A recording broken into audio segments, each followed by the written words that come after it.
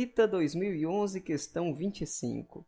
Determine todas as matrizes M pertencentes ao conjunto das matrizes 2 por 2 com entradas reais, tais que M vezes N seja igual a N vezes M para toda matriz N pertencente ao conjunto das matrizes 2 por 2 com entradas reais. Em outras palavras, o que ele quer é que você determine todas aquelas matrizes 2 por 2 com entradas reais que comutam com qualquer que seja a matriz que você tomar lá no conjunto das matrizes 2 por 2 com entradas reais. Então, quais são aquelas matrizes M que comutam com todas as demais matrizes? Facilmente você consegue pensar em dois exemplos de matrizes que satisfazem isso aqui, não consegue? Um exemplo é a matriz identidade, não é? Porque a matriz identidade multiplicada por qualquer outra matriz dá a própria matriz. E qualquer matriz vezes a identidade dá a própria matriz. Então, a matriz identidade, 2 por 2, comuta com qualquer outra matriz 2 por 2, certo? Outra matriz que claramente comuta com todas as demais é a matriz nula, porque o resultado da multiplicação dela por qualquer matriz é a própria matriz nula, e qualquer matriz multiplicada por ela também é a matriz nula. Então, a gente tem aí dois exemplos. Mas ele não quer só dois exemplos, ele quer todas as matrizes que têm essa propriedade de comutar com as demais. Então, vamos começar a resolver a questão. Olha aqui o que eu escrevi. Sejam M uma matriz de entradas A, B, C e D e N uma matriz de entradas X, Y, W e Z. Vamos determinar condições que A, B, C e D devem satisfazer para que se tenha m vezes n igual n vezes m. Qualquer que seja essa matriz n do tipo 2 por 2 com entradas reais. Perceba qual estratégia eu estou usando aqui. Eu peguei uma matriz aqui genérica, M, né, com entradas A, B, C e D. E vamos considerar aqui uma matriz qualquer, N, X, Y, W, Z. A gente vai tentar descobrir condições que A, B, C e D devem satisfazer né, de maneira que M comute com N, seja lá qual for essa matriz N do tipo 2 por 2.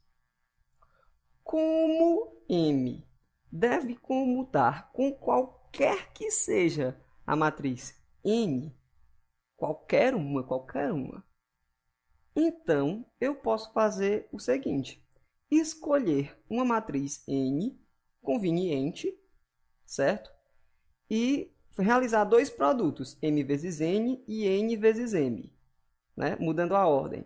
E eu vou obter duas matrizes que devem ser iguais, não é? Porque a gente tem isso aqui, a gente quer que se tenha isso aqui.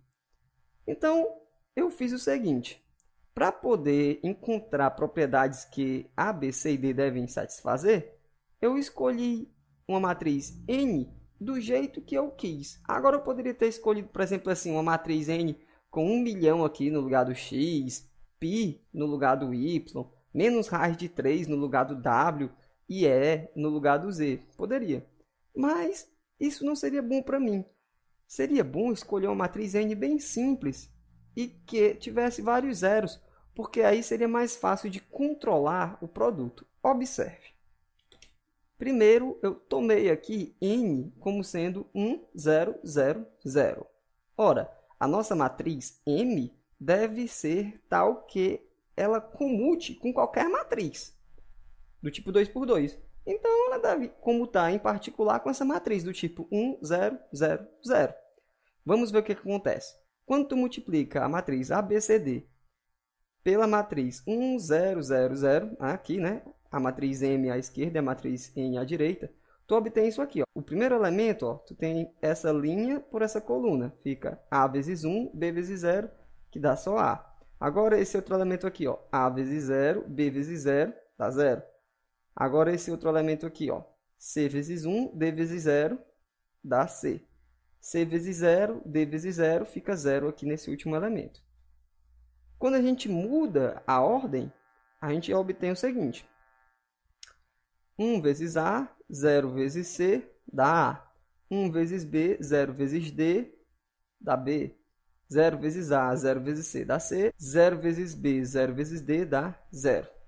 Agora, essas duas matrizes aqui devem ser iguais, porque a gente está supondo aqui uma M que comuta com todas as outras matrizes. Para que essas duas matrizes sejam iguais, em outras palavras, para que M comute com essa matrizinha aqui, nós devemos obrigatoriamente ter ó, B igual a zero e o C também igual a zero. Por isso que eu escrevi aqui. Daqui a gente conclui que devemos ter B igual a C igual a zero. Então, a gente já sabe que para que essa matriz M comute com qualquer matriz, em particular, ela tem que comutar com essa daqui, 1, 0, 0, 0. E para ela fazer isso, só se o B for igual ao C for igual a zero. E a gente já encontrou uma caracterização para a matriz M. Mas dá para a gente fazer mais do que isso. Olha o que eu fiz em seguida. Tomando n agora do tipo 0, 0, 0, 1, botei o 1 aqui embaixo. Realizando as multiplicações, você pode conferir aqui, ó, a vezes 0, 0 vezes 1 dá 0. A vezes 0, 0 vezes 0 dá 0 aqui. 0 vezes 0, D vezes 1, D aqui embaixo. 0 vezes 0, D vezes 0 dá 0 bem aqui. Agora aqui, ó, 0 vezes A, 0 vezes 0 dá 0. 0 vezes 0, 0 vezes D dá 0. 1 vezes A, 0 vezes 0 dá o próprio A. 1 vezes 0, 0 vezes D dá 0.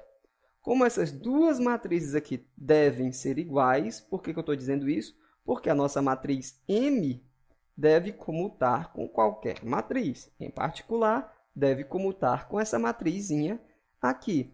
Repare que quando eu escrevi a matriz M aqui nesse segundo ponto, eu já pus a sua diagonal secundária aqui formada por zeros, né? Porque a gente descobriu no primeiro item que B e C tem que ser nulos. Por isso que eu coloquei zero aqui, certo? E daí? Daí que essa matriz deve comutar com todo mundo, e para comutar com todo mundo, esse resultado aqui deve ser igual a esse. Mas, cara, para esse resultado aqui ser igual a esse, só se o A for igual ao D. Então, descobrimos outra característica da matriz M. Além da sua diagonal secundária ser formada por zeros, a diagonal principal tem que ser formada por elementos o que? iguais. Por isso, a gente já pode começar a concluir a questão. Assim, todas as matrizes M que satisfazem as condições do problema são da forma, olha aqui, ó, diagonal secundária formada por zeros e diagonal principal formada por dois elementos iguais. O que a gente fez foi mostrar que se a matriz M comuta com qualquer matriz N, então ela deve ser dessa forma aqui.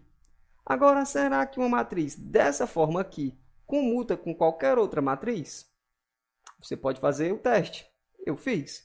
Por exemplo, aqui, ó, multipliquei A0, 0A por uma matriz genérica e peguei essa matriz genérica e multipliquei por A0, 0A e vi que dava os mesmos resultados.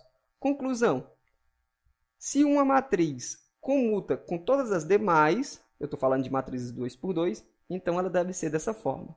Se uma matriz é dessa forma, então ela comuta com todas as demais. O interessante desse exercício é que, para resolvê-lo, basta que você entenda sobre multiplicação de matrizes. Concorda comigo? E a multiplicação de matrizes simples. Multiplicação de matrizes 2 por 2. Aí o que, é que acontece? A pessoa pega um livro comum para se preparar para o ITA, aqueles livrozinhos normais, tipo Bom Giorno, ou até Fundamentos de Matemática Elementar, talvez, e vai resolver as questões que tem lá, resolve todas as questões de multiplicação de matrizes. Mas dificilmente a pessoa vai nesses livros encontrar uma questão desse tipo aqui. Aqui é uma questão onde a gente prova a existência de matrizes satisfazendo uma determinada propriedade. Eu me acostumei a trabalhar com esse tipo de questão na faculdade. No ensino médio eu não trabalhava com esse tipo de coisa. Porém, não quer dizer que isso aqui seja muito difícil, não. Isso aqui não é difícil. É fácil. Agora, é necessário que a pessoa tenha o treinamento adequado para o ITA. Não adianta você pegar qualquer livro para se preparar. Por isso que eu digo que é bom que você se prepare utilizando as provas anteriores, vendo questões resolvidas, porque você resolver todas as questões do seu livro não é garantia que você vai poder resolver qualquer questão que apareça pela frente, não. Então, eu espero que esse vídeo tenha sido útil para você. A gente fica por aqui. Um abraço e até a próxima. Tchau!